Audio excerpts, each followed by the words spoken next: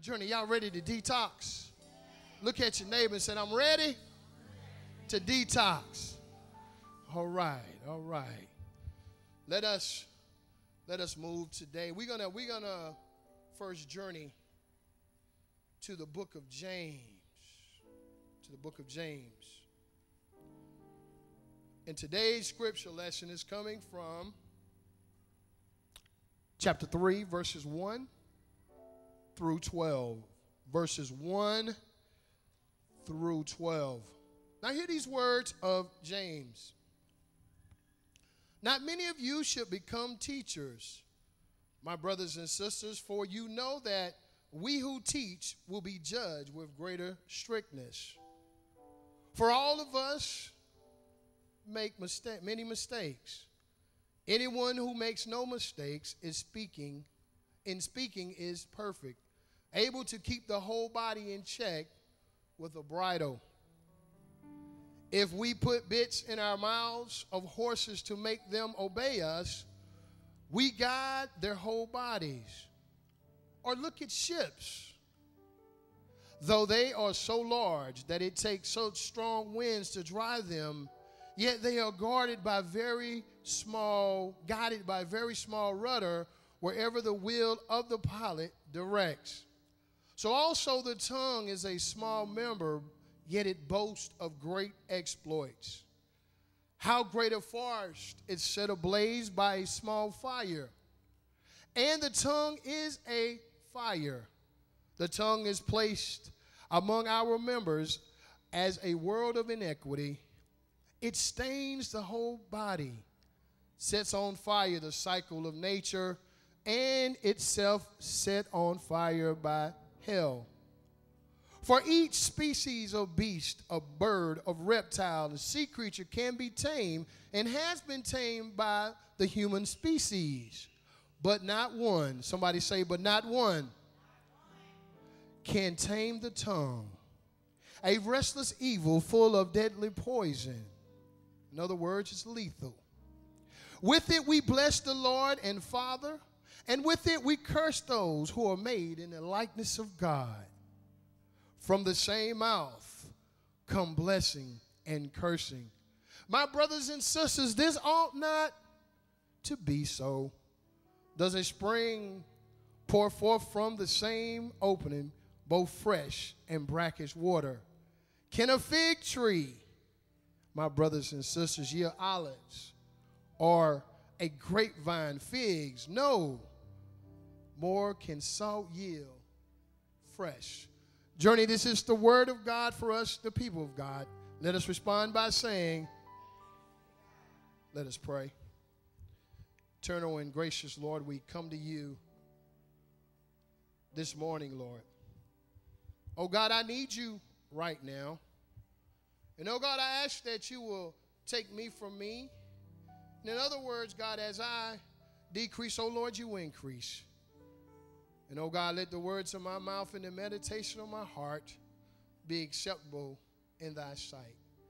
In your precious and holy name I pray. Amen.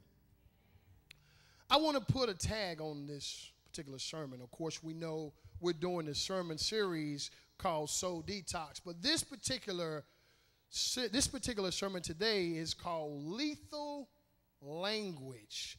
Lethal language. Now, normally I wouldn't make this suggestion that we take notes as strongly as I'm going to make that suggestion today. The things that we will be going in these series, doing in these series, is very important for our spiritual growth. So I will ask those folks if you would please take notes, that you hear something that may help somebody else, then, then tweet it or post it on Facebook that somebody may be able to see, see or hear some of the words that, that, that we're talking about today when we talk about lethal language. Amen, everybody? I want y'all to say this. I want y'all to finish it with me. Well, I'm going to say it first and then we'll say it together. And wherever you get in, once you figure out, if you know the saying, just jump in wherever you want to jump in. Sticks and stones, but words. Now let's say it again like you've had to say that before. Now, maybe I'm the only one who got picked on or bullied before.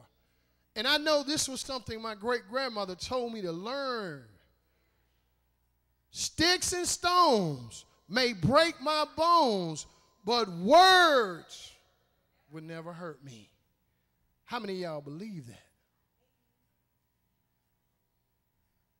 I've heard some things that have hurt me. I've said some things to other folks that I've hurt. And understand if you didn't have to say that sometime in your life, well, then you've been bullying folks for a long time, so we got a whole nother prayer for you. But understand where this rhyme has come from. It showed up in England in the early 1800s. So it's not, it's, it's relatively new.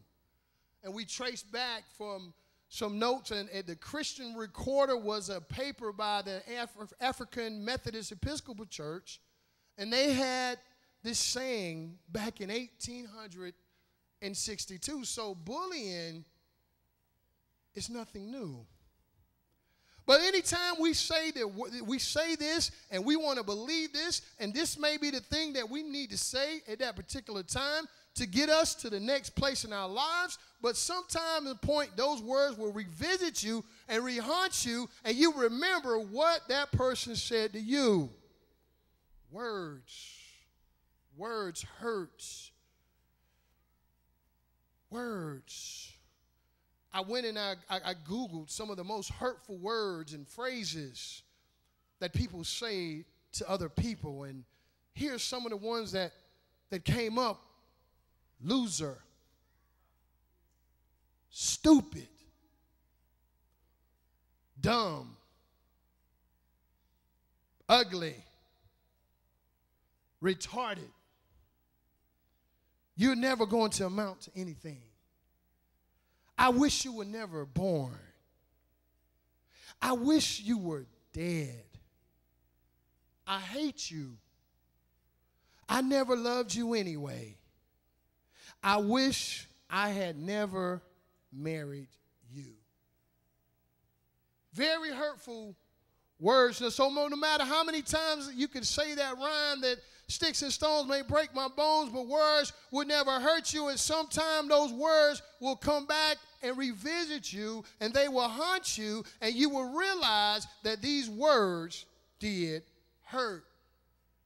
So James is warning us today, and he's talking about the taming of our tongues.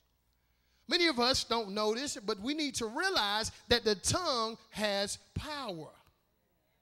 This little organ, this little red organ that has eight muscles is a small thing, but it can, but it, but it can incur much damage.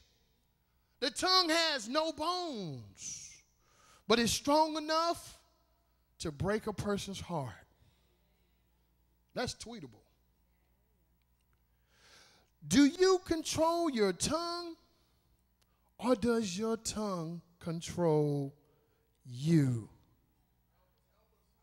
Do you control your tongue? Or does your, tongue, your tongue control you? Is your tongue your friend? Or is your tongue your enemy? I've heard people say, Well, I'm just being me. I've heard people say, I'm just going to keep it 100. Somebody needs to say something, but sometimes keeping it real can go wrong. Sometimes we just need to just shut up. I remember now, I'm going to date myself. There was a song by one of my favorite groups, one of my hip hop groups. That was back when you could actually understand what they were saying when they were rapping. I'm sorry, young folks. Y'all got the what? Three amigos? What? The Migos, yeah, the Migos. But I'm saying they had a song said, "You talk too much. You never shut up. You talk too much, homeboy. You never shut up." Sometimes you just gotta what? You gotta hold your peace. Everything don't need to be said all the time. Matter of fact, Matter of fact, I, I, I did some research. Uh, this, this, this, this Harvard business model, and it talks about on productive teams, and it gives the ratio. It's a little bar graph that gives the ratio of how many positive inputs it takes to negate one negative input.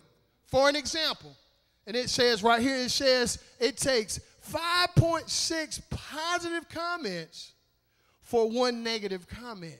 So that makes it equal. So if I come up here and you say, hey, Minister Quick, I like your jacket, I like your cross, I like your beads, but I don't like your shoes.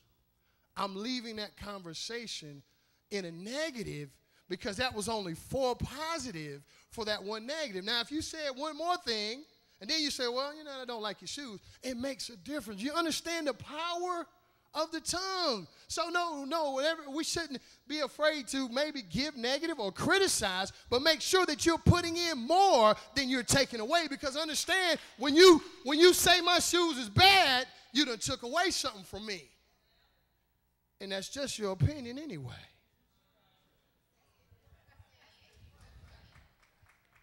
Tame the tongue. If you can't control the tongue, then you probably can't control the rest of your body. If you can't control what comes out of your mouth, then you can't control the rest of your body. If we could just understand the importance of taming this little red organ with these with those eight muscles, then our whole lives could change keeping it real. Huh. Keep it 100. We sometimes we need to just what? Shut up. The, the tongue has, I'm going to use four different things. The power, the tongue has the power. One of the things the tongue has the power to do is direct. The tongue has the power to direct.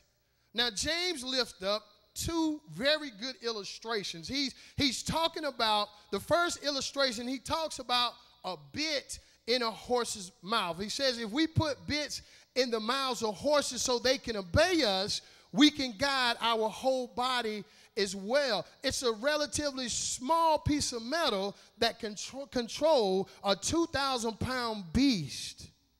So understand now, how many, any, anybody have any horses? Nobody, anybody about horses? Anybody? A bride? Bridle?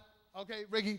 So you understand that that, that that piece of metal that's in that horse's mouth, no, that's not a grill, that's a metal that controls the horse. So when you want to go left, then you pull the bride to the left and the horse goes that way. And if you want to go right, you pull the bride to the, to, to the right and he goes that way. And if you want the horse to stop, you just pull back on the bride and the horse obeys that little, that little bit in that horse's mouth directs the horse in which way it could go. Without that, that, that bit in his mouth, then the horse would go where the horse wanted to, and we could not control the horse, how the horse behaves, because someone needs to direct the horse on which way the horse should go.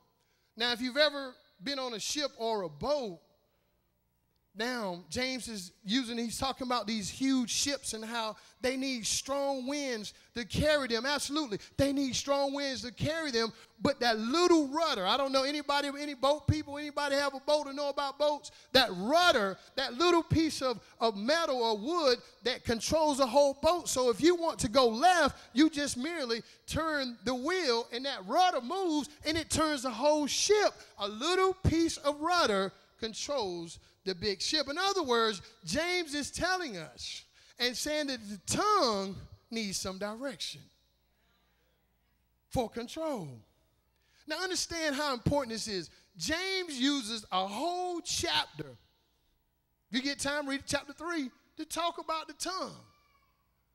Of all the things he could have written about, he used a whole entire chapter to talk about the tongue. Number two, the tongue has the power to destroy. It destroys relationships, families, people. It, it destroys the church. But I understand that sometimes we may have grown up in an environment where we were always poured negative things into us. Because if, if it was poured into you, that's all you know, you're going to pour it into your children. And your children going to pour it into somebody else. So before you know it, you have a generations and generations of people who are just negative about everything. Because you're going to be what you see. You can tell your kids what they shouldn't do. Like I know somebody was just telling me the other day. They said, "Look, my parents would send us to church, but they wouldn't go to church. Son, you need to get up. You need to go to church while they're, they're standing in the bed watching St. Sheets. That's not a very good way to raise kids. They're going to be what they see. But hurt, you know, the thing about hurt people, though, what is it saying? Hurt people, hurt people. I don't know, but you may have seen this. You may have seen this recently. There was a 10 year old young boy from Kentucky. His name was Seven Bridges. Seven was born with a birth defect that caused him to have a colostomy bag to go to school. Well, he had been making it, hearing all this, all these things, you know, all these things that people were saying about him. I guess he probably said that saying a couple of times himself. Sticks and stones may break my bones, but words will never hurt me. Well, after all the, the ridicule that he got from the kids, one day, Seven's mother found him in the closet where he had took his own life. Understand the tongue.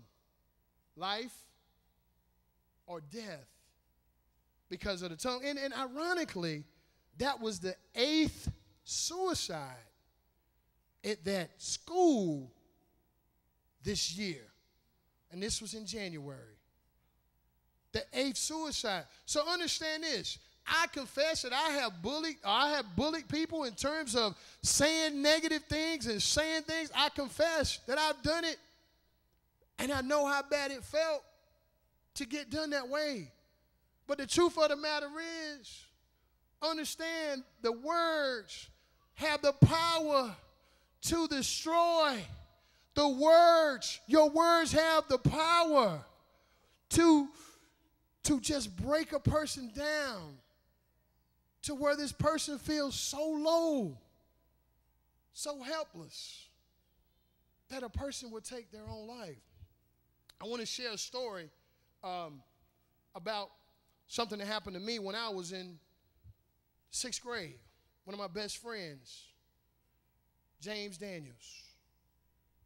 I didn't understand leukemia in the sixth grade. All I know is James would be out of school a lot, and I would miss him. He'd come back, we'd sit by each other. But he was my friend, one of my best friends.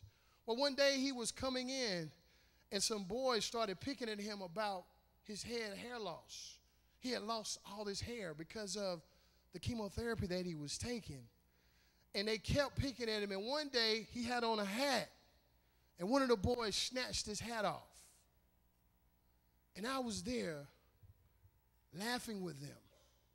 This was my friend.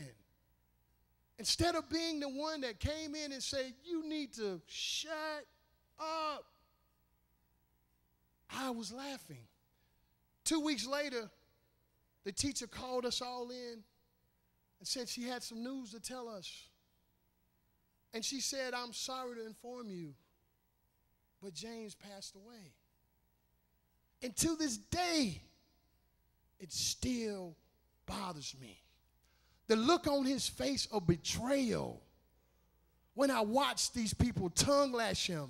No, I didn't understand what leukemia was, but I knew what picking, picking on people was wrong but yet I still did it because of the crowds. What I came to tell you is the tongue has the power to destroy. And if you're the only one that's willing to stand up and fight for somebody because they're bullying somebody, then you need to stand up and say what needs to be said. The tongue has the power to destroy. Also, the tongue has the power to deflect. James says in, in chapter 1, verses, verse 19, My dear brothers and sisters, take note of this. Everyone should be quick to listen, slow to speak, and slow to anger. Say, let's say these, say these together. Quick to listen, slow to speak, slow to anger. True story. Me and my, my, my best friend, uh, who was my, my best man at my wedding, we were at a Gamecocks game maybe 10, 15 years ago. It was when they were losing real bad because he, he actually played. Ken Watson, uh, four years started at USC. But so, so you know, we we coming from the game now. Watt is about six two. You know, he's a big guy. I'm a big guy. So afterwards, we were walking to the car, and when we got to the car, he loves it. He had a Toyota 4Runner, man. He loved that truck. When we were coming to the truck, we saw three look like high school boys. I mean, they were camped out, picnicking, kind of, sort of on the truck. So we could see them from a distance. I could already see um, uh, Ken. He was already getting upset. I, I said, man, the Gamecocks lost. He ready to go home. We got to fight this traffic. He's ready. He, he's in that mode. I can see him. And, and, you know, I'm with him. So I said, well, I got to get in that mode too. So we're walking. You know, you know how you walk me mugging? And as we got closer to the truck, something hit my spirit and was like, hold up. Because I would think that if it was three young boys, two adult, grown, big men that are coming toward my truck, that's a mismatch. They gonna lose. But for some reason, they didn't move. I mean, they was all on the hood like this. And so, so I was like, wait a minute, why? Whoa, hold up, hold up, hold up. I said, man, hey, we need to approach this slow. So we went to the truck. Now here's this big six-two former Gamecock, former NFL player, talking to some little probably high school boys like, hey man, do y'all mind if I get my truck? Now, at the moment, I felt like, wow, we're, we're saying this to these, these young boys? But I said, yeah, man, yo, man, hey, you know, we tried to, you know, make small talk, and they said, they kind of nodded and said, yeah. So as they were getting up, I saw the weapon. Each one of them, they were ready. All we had to do was say the wrong thing, and I probably wouldn't be here right now. Now, I don't know if it was them, but later on in the news, I heard that some people were shooting at the USC tailgate that day. It perhaps could have been them. I don't know. But if we had just, just followed what we felt or followed the anger, if we didn't understand how to hold our tongue so we can deflect that situation, that situation could have got ugly. Sometimes keeping it real goes wrong. Y'all may have felt a little small then, but I'm alive. I'm alive. I'm alive. But understand Proverbs 15 and 1 says, A gentle answer turns away wrath, but a harsh word, a harsh word stirs up anger. The tongue has the power to deflect. The tongue also has the power to delight. The power to delight. Our tongues also have the power to delight. Verses 9 through 10 lays out the nature of our tongues. With it, we bless our Lord and Father, and with it, we curse people who are made in the likeness of God. From the same mouth come blessing and cursing. My brothers and sisters, these things ought not be so. The word bless comes from where we get the word eulogy. Eulogy means to speak well of. We bless the Lord while we blast the people made in God's image. Some of us praise the Lord, hallelujah, thank you, Jesus. And then within minutes, we pulverize someone made in his image. Out of that same mouth, there's a blessing and a cursing. But what we've learned today, what we've learned today, that we've learned that we must control our tongues. Because if we don't control our tongues, our tongues will control us. They have the power to direct. The tongue has the power to destroy. The tongue has the power to delight.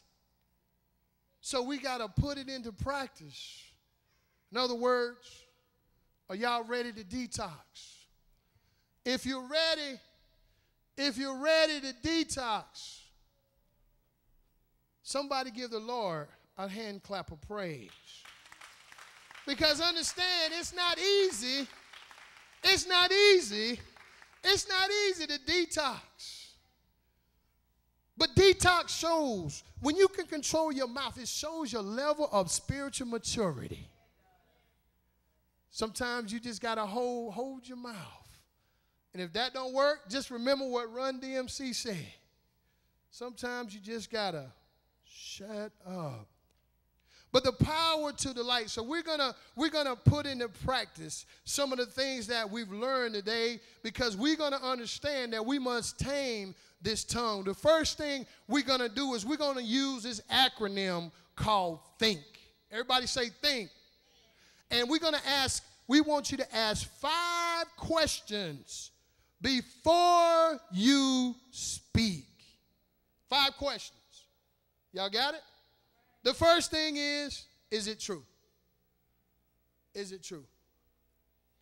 We can't just pop off about something if it ain't true. Like if somebody said, Martin, somebody just bust your windows out your car. Well, I need to find out if it's true before I start to go off.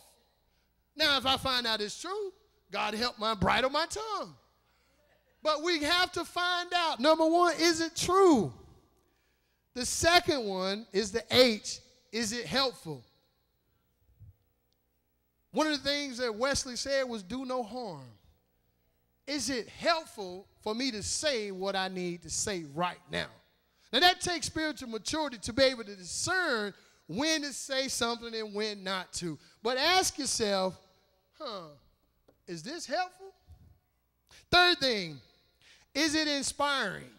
Are we saying something to make put like like James talks about the spark, the fire? Are we putting gas on the fire? Are we putting water on the fire? Because you know we got some people what I call booster cables. They like to boost it up. You remember when back in the days when it, when it was time to fight, so we, we put our hand out, best man hit me, and then you hit the other person and go back, you know, because you wanted to get it off and, and popping. So, so that's one of the things we need to ask ourselves, is it inspiring? And the end in that think is, is it necessary? Do you have to say that? Does it need to be said? Is it necessary? Can it, is there a better way? Sometimes silence speaks louder than words. Like when my wife says, no, I understand that. Just like when she says no. So there's different ways in which we're able to communicate. And the last one in that think is is it kind? Is it kind? There's a way to even criticize somebody in a way to do it with love. The way to do it with love. Is it kind? And also, related to this, let's make sure that we watch our words on Facebook, Twitter, Instagram, Snapchat, because once they're out there, you can't bring them back. No apology can wipe away the pain of some of the things that you say to people. You may say, I'm sorry. They may say, I forgive you. But those words revisit you, they shape you, they form you. Whether or not you have low self esteem, high self esteem, confidence, all comes about what you're hearing people say. That's why the Lord gave us two ears and one mouth. Whatever comes in, because even what, how, how do we grow? By hearing the word of God. By hearing. So sometimes we just have to listen and discern whether or not this is the right time to say this. Now, for moving on into detox, as we begin to detox, we're beginning to detox. Psalms 19 and 14 says, May the words of my mouth and the meditation of my heart be pleasing in your sight, Lord, my rock and my redeemer.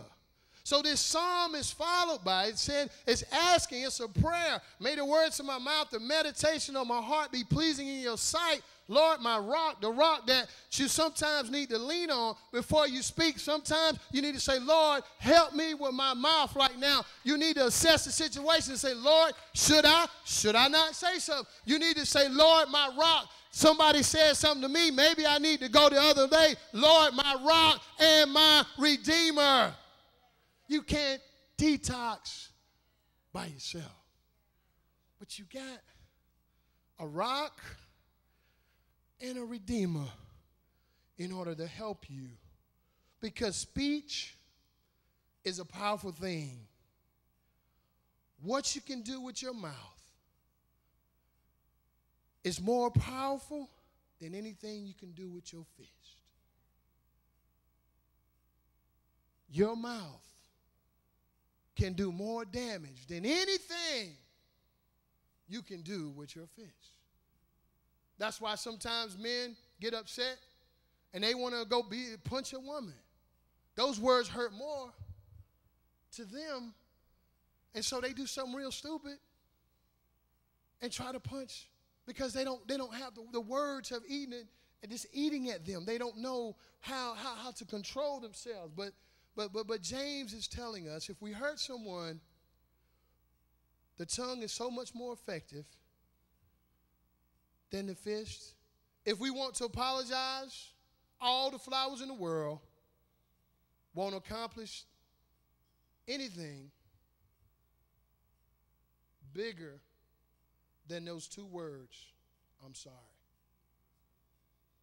Some of the most significant messages people deliver to one another has often come with three words.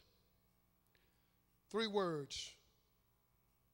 Words have the power to forge new friendships, deepen old ones, and restore relationships. We're getting ready to detox. One of the three words, somebody say three words. One of the three words that we can put into this atmosphere is I'll be there. Being there for a person is a great gift that we can give when we're truly present with people. For other people, important things happen to them and us. We are renewed in love relationships. We are restored emotionally and spiritually. Another three words we can say is, I miss you. More marriages and friendships can be salvaged and strengthened if people simply sincerely said to each one of each other, I miss you. This is an affirmation that tells your partners that they are wanted, they are needed, they are desired, and they are loved. Three more words. We're detoxing. I respect you. Respect is another way of showing love and the feeling that another person is truly equal, a powerful way to affirm the importance of a relationship. Another, maybe you're right. This phrase is highly effective in diffusing an argument and restoring frayed, emotions. The flip side is, maybe you're right, is the humility of admitting maybe I'm wrong. Please forgive me. Many broken relationships can be stored and healed if we would just admit to our mistakes and ask for forgiveness. All of us are vulnerable to faults. All of us are vulnerable to failures. A person should never be ashamed to admit that they have been wrong, which is saying that they are wiser today than they were yesterday. We're detoxing. I thank you. Gratitude is an exquisite form of courtesy. People who enjoy the companionship of good, close friends aren't those who don't take courtesies for granted. They are quick to thank their friends for the many expressions of kindness. People whose circle of friends is severely limited often do not have an attitude of gratitude. Detox. Count on me. A friend is someone who walks in when other walks walks out. Detox. Three words. Let me help. The best of friends sees a need and tries to fill it. I understand you. People become closer and enjoy each other more if they can have person accepts and understands them. Seek first, understand. Second, to be what understood. Three words. Detox. Go for it. Some of our friends maybe non-conformists. But tell them, go for it. Three little words. Three little words. You are enough. Never give up. But I, I, I, I, like I said, we're detoxing, but we want to we want to really come out of this thing. We want to really come out but, but, but God has given us some words, He's given us this language. But if we really want to come out and we want to start speaking blessings right now, we want to start detoxing, we want to start speaking blessings right now. No curses, blessings. We want to bless one another. We want to lift up one another. We want to bless one another. We want to shift this atmosphere right now in this church because there's somebody that came today who's down on their luck Somebody came today feeling worthless. Somebody that today came knowing that somebody has, has poured all kinds of evil into their lives. Somebody came here maybe on their last leg. So what we're going to do is we're going to speak blessings and we're going to speak life until Journey Church. So what I want you to do, if you believe that you can speak blessings and you can speak life, I want you to say to somebody, I love you. But wait a minute. I don't want you to just say I love you because they got a name tag on. I want you to say whoever it is. Say, Dave, I love you. And what I want us to do for about one minute, I want us to raise the blessings. I want us to put life into these people in this church. So for the next minute, I want you to find somebody and just say, I love you. I love you. I love you. Find somebody, Journey. Find somebody, Journey. Find somebody, Journey. Find somebody. If you truly want to detox, if you truly feel it in your heart, find somebody, anybody, everybody, and say, I love you. Brandon, I love you. I love you. I love you. I love you. You are enough. I love you. I love you. I love you. We speak in life. We speak in blessings. Bless the Lord, all my soul. Bless the Lord. I love you. I love you, Journey. I love you. I love you. I want to say, Sneeze, I love you. Adrian, I love you. I love you. I love you. Blessings, I love you. Blessings, blessings. Detox, detox. Come out. Come out. Come out. Come out. You need to come out. Bridle this tongue. I love you.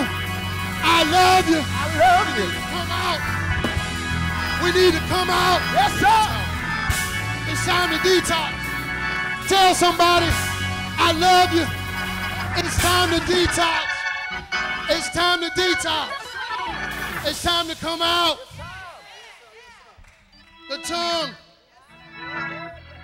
has the power to bless, curse, life, death.